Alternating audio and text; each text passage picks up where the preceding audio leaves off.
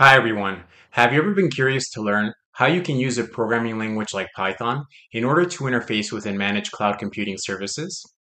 Well, for those that don't know me, my name is Eric Huerta, and in this video, I want to give you an overview and a hands-on demonstration of how to couple Python with the AWS Boto 3 SDK in order to manage services such as S3, EC2, RDS, and many more. So let's get started. So to start with, what is an SDK? An SDK or software development kit is a kit that contains a set of pre-configured tools and libraries that allow us to interact with a certain piece of software. So in our case, Boto 3 is an SDK that allows us to write Python code in order to manage these AWS services programmatically. So Boto 3 acts as a kind of intermediary between us, the developers, and the AWS services that we want to manage. And Boto 3 contains many easy to use APIs that allow us to interact with services such as S3, EC2, RDS, and SNS, just to name a few. Now, one of the superpowers that coding gives us is the ability to manage and interact with software at lightning speed. So, in the case of cloud computing, what would normally take a human minutes or hours to do manually, we can automate that process using Python and Boto 3 to manage these AWS services. So let's take a look at some real world examples. Say, for example, that you're a company that needs to automate the process of uploading files to an S3 bucket. In this case, what you could use is the Boto 3 upload file method. Now, say you're an organization that needs to make regular backups of sensitive information on your EC2 instances. In this case, you could use the create snapshot method. Now, as developers, many times we need to upload data to databases. So if you were working with an RDS database and you needed to execute some SQL statements, you could use the execute statement method. And finally, say if you work in an organization and you need to parse some files and identify who in the organization they belong to. Once you have that information, you could publish to an SNS topic to alert that certain individual.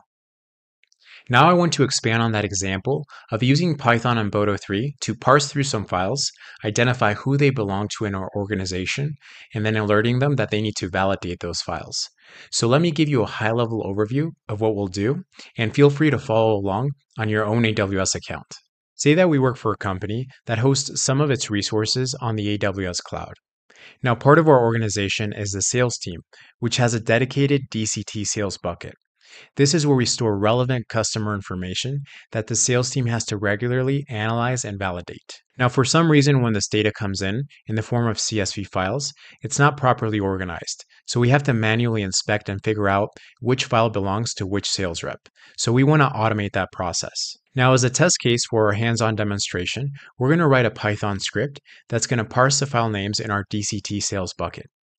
Now, as our script iterates through those file names, it's going to make a determination whether each of the files is assigned to sales rep 1 or not. If it's not, it's going to do nothing. But if the file does belong to sales rep 1, it's going to move that particular file to sales rep 1's subfolder, which in this case is SR1. After we've moved our file, our same Python script is going to publish to an SNS topic, which our sales rep 1 is subscribed to. So as soon as we publish to that topic, it's going to email our rep to let them know that they have files that they need to analyze and validate. All right, so now that I've fully explained how this process is going to work, let's go ahead and build the system. Now to run and execute my Python scripts, I'm going to be working on the AWS Cloud9 IDE. So I suggest you also follow along on Cloud9 so we have the same setup and configuration. But if you want to follow along locally, whether that's on Mac, Windows, or Linux, go ahead. Just make sure that you have the AWS CLI installed so that you can access your AWS resources. So meet me over on your IDE. All right, so I'm in the AWS Management Console, and I'm going to open up my Cloud9 IDE. But before I do that, I want to show you the files that we're going to move in my S3 bucket.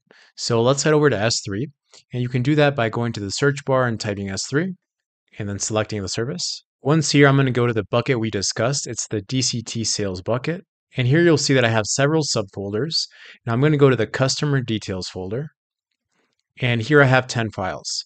So you'll see that some of them start with a prefix SR1, and then we have SR2, SR3, SR4, and SR5. Now, if you're following along with this demonstration, go ahead and create some CSV files with the SR1 prefix in the file name. The actual contents of the file don't matter. Just make sure that the file names match and that you upload them to the DCT Sales Customer Details subfolder. So the prefix SR1 denotes that the file belongs to sales rep 1.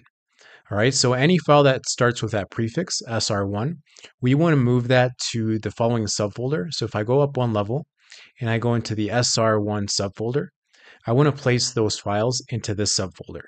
All right, so that's what we're going to do with this Python script. Okay, so now let's head over to Cloud9. And here in the search bar, I'll type in Cloud9 and we'll head over to that ID. Now I already have my environment set up. If you don't, just go ahead and create your environment and use a T2 Micro EC2 instance. Now I'm going to open up my Cloud9 environment. Okay, so this is the Cloud9 environment, and at the bottom here you'll see the terminal. I'm in the rep notifications directory, and if I list my files, ls, you'll see that I have a move files and notify rep.py file. So that's the file you see in the code editor and where we'll be working and writing our code. All right, so on line one, the first thing we're going to do is import Boto3, the Boto3 SDK. And we need to create a Boto3 resource and client in order to interface with AWS resources. So we're going to create our S3 resource. So we'll say S3 equals Boto3 dot resource and then parentheses and inside the parentheses single quotation marks and then S3. Okay, now we also need to create our SNS topic client. So here we'll do SNS equals and then Boto3 dot client and then parentheses and inside the parentheses SNS. Now we're going to define our bucket variables. So we'll say bucket name and we'll set it equal to the string dct dash sales. And we also want our source folder. So we'll say source folder. And as we saw in our bucket, it's going to be customer dash details. And lastly, we want the destination folder. So this is where we're going to move the sales rep one files. So this is going to be SR1 forward slash and then closing single quotation marks. Now on line 14, we're going to define our SNS topic ARN. This is where we're going to publish to once we're done writing our code. For now, we're going to set it equal to an empty string. And then later on, we'll go and get that ARN. And then we need to define our sales rep prefix. So here our variable will just be SR prefix. And we'll set it equal to, and I'll just copy this from line 11, SR, and then underscore instead of forward slash. Then on line 20, we'll initialize a flag to let us know if we moved any files or not. So we'll set it equal to the Boolean value of false. So now that we've initialized all these variables, let's go ahead and list all the objects in our source folder. Remember, our source folder is a customer details subfolder. So we're going to do that by creating a variable called bucket, and we'll set it equal to our S3 resource. So it'll be S3.bucket, then parentheses, and inside the bucket name. So we'll say bucket underscore name. And now we want to loop through the objects in that bucket. So the way we're going to do that is by creating a for loop. So we'll say for, and we'll do obj, so for object, for obj, in bucket dot objects dot filter, and then parentheses, and we're going to filter for the files that have that prefix sr1. So here we're going to have prefix equals, and then source folder, and then plus, and then our sr underscore prefix variable. Okay, so we're going to loop through that, make sure to add your colon at the end. And let's go ahead and print out our object in our for loop to make sure that it's filtering correctly for the source folder SR prefix. Okay, now before we do that, let me just make a quick fix here. On line 10 for the source folder, make sure that you have a forward slash after your customer details subfolder. Okay, so then in the for loop, I'm going to write a print function. And inside, I'm just going to print out the object. So I'm going to save that. And then down in the terminal, I'm going to write Python and the name of my file and enter. And there you go. So it's printing out from the bucket DCT sales all the files that end in that start with the prefix SR1. So that's working perfectly. Since that's working fine, I'm going to comment out that perm function and we're going to construct our destination key. So it's going to be destination underscore key and we'll set that equal to the destination folder on line 11 plus obj dot key dot split and then parentheses and inside we're going to have single quotes forward slash single quotes and then square brackets minus one So now we'll copy to the source. So we'll say copy underscore source, and we'll set it equal to the dictionary. And we'll add some space here. And here it's going to be single quotes bucket and then the bucket name and then comma and the key. And for here, it's going to be the object obj key. And once we've done that, we can call the bucket dot copy and then parentheses and inside the parentheses copy source and then the destination key. Okay, so after moving the file to the destination folder, we can delete the one that was in the original folder. So we can do that by saying obj.delete and then parentheses.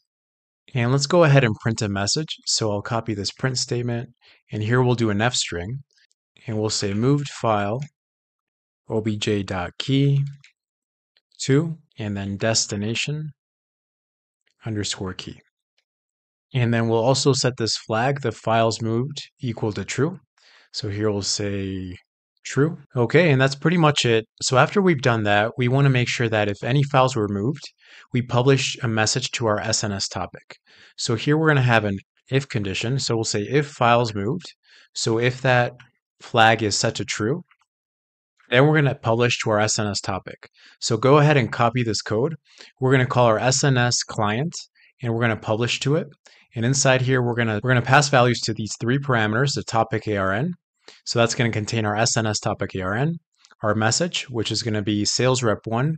You have new files to validate in your folder, and then the subject, new new files for validation. So save that. And now the last thing we need to do is get this SNS topic ARN. So let's head over to the SNS service on AWS. Once here, we're going to go to the topics on the left and we're going to click on the orange Create Topic button at the top right.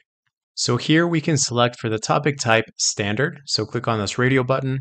For the name, we can give it something like SR for sales rep, file dash validation. Okay, and then display name, we can say SR file validation. And for the rest, we can leave it as is. So at the bottom, click on the create topic. All right, so now we have our topic and now we need to subscribe to our topic with our email. So what we're going to do is here on the right, click on the create subscription button. And for the protocol, we're going to select email. And the endpoint, this is where you have to enter one of your emails that you have access to. So you can validate it and subscribe to the topic. Okay, so once you've entered your email, click on the create subscription at the bottom right. Now what we need to do is go to that email address we entered and confirm our subscription. So I'll show you what that looks like. So the email should look something like this. So you'll get it from AWS asking if you want to subscribe to this topic and it'll list your topic and ours is SR file validation. So we'll click on confirm subscription. And once we've done that, you should see that if we refresh our page, we'll see that our status is now confirmed. So we've successfully subscribed to that topic. Now that we've done that, let's go one level up. And in order to trigger our SNS topic, we need to copy our ARN. So copy your particular topic ARN and head back to your IDE. So now in line 14, we can paste in our ARN. And now if we run our Python script, we should get that email notification. So make sure you save that and in your terminal, rerun that command. And there we go. So it says that the files were successfully moved. And let me check my email. Okay, and your email should look something like this saying that sales rep one, you have new files to validate in your folder. Okay, so that worked perfectly. Now let's go to the bucket to validate and make sure that the files were moved from that customer's folder into our sales rep folder. Okay, so I'm in the customer details subfolder and you'll see here that I have all my files. Now if I refresh, all the files for sales rep one are gone. So if we go one level up and into SR1, the subfolder, you'll see that the files were successfully moved here. All right, so that worked perfectly. Okay, everyone, so let's go back to that high level overview and summarize what we did. All right, everyone, so I hope you found that insightful as to what you can do with Python when you couple it with the AWS Boto 3 SDK. To summarize what we did, if you look at the diagram, we wrote a Python script that parsed files in our S3 bucket, then it determined if they belonged to sales rep 1 or not. If they did, it would move them to a specified subfolder of our bucket, and then send an email notification to the sales rep to let them know that they had files that they needed to analyze and validate. Now, if you wanted to further elaborate on this example, there's a few steps you could take. One thing you could do is once the sales rep validates the data, you could write another Python script that uploads the data contained within those files into an RDS database. On the other hand, what you could do is enable glue crawlers to crawl the data within your files in your S3 bucket and populate the data catalog with that data and create the tables for you.